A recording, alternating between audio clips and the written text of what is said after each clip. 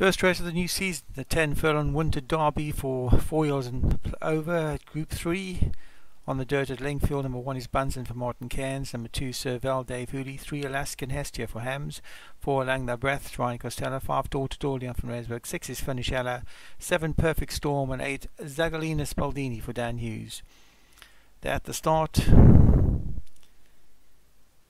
and away they go good break by most, and it's uh, Zagalinas Baldini gets a good start. Uh, just behind his finish, Ella up the inside is a, is Alaskan Hestia, and moving up past up right up the outside is Perfect Storm.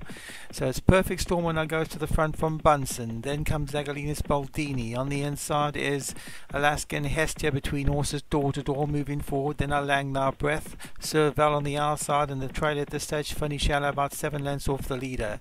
The leader's Perfect Storm about three lengths clear of door to door. Then comes Bunsen on the outside of Alaskan Hestia in between horses is a Langnar Breath. Then the blue of Zagalina Spaldini. Serval on that one's outside with a black cap. And at the back of the field, Alex Jerry's Finish Ella. Perfect Storm still leads him with six furlongs left to go, door to door about two lengths back. Then comes Bunsen with a Langnar breath.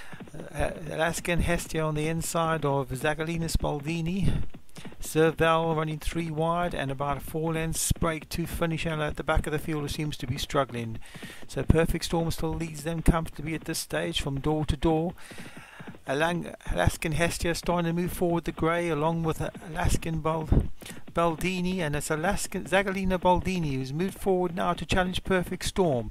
Then Alangnar Breath and door to door up the inside was slightly outpaced. Alaskan Hestia behind that was Serval and both Bunsen and Finish Elliot are struggling. So as they approach the turn for home with three furlongs left to go, the Grail on the outside, Alaskan Hestia comes forward strongly to pick it up from on the inside. Perfect Storm, who's starting to go be a bit one pace. Zagalina Baldini is trying to go with the leader. Then comes a Langnar Breath, door to door is outpaced. Serval's trying to run on, and Bunsen and Finish Yellow way out of their ground. It's Alaskan Hestia in front, the grey, and starting to draw clear from Zagalina Baldini, door to door, and Serval running on, but Alaskan Hestia is gone. Alaskan Hestia is going to win this quite comfortably from door to door in second. Serval will probably get third from Zagalinas Baldini.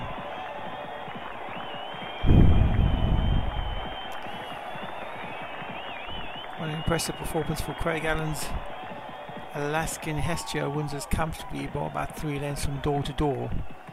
The Group 1 winning mare from last season, Serval back in third. Zagalina Spaldini finished fourth and for